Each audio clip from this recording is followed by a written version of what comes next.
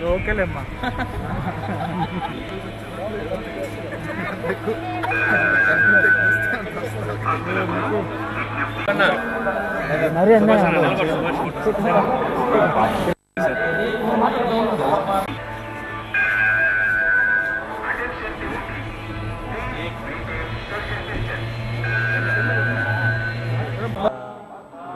కులదైవమైన వెంకటేశ్వర స్వామి ఆశీస్సులు తీసుకుందామని వచ్చాను కుటుంబ సమేతంగా. ఈ నెలలోనే బాలయ్య బాబుతోటి సినిమా స్టార్ట్ చేస్తున్నాను. భగవంతుడి ఆశీస్సులు వెంకటేశ్వర స్వామి ఆశీస్సులతోటి ఈ సినిమాని స్టార్ట్ చేస్తున్నాను ఆయన ఆశీస్సులు ఎప్పుడూ ఉంటాయి మనస్ఫూర్తిగా థ్యాంక్ యూ సినిమా పేరు సార్ సినిమా ఇంకా టైటిల్ ఏమో ఇంకా తెలియదు బాలయ్య బాబు శృతి హాసన్ మైత్రి మూవీస్.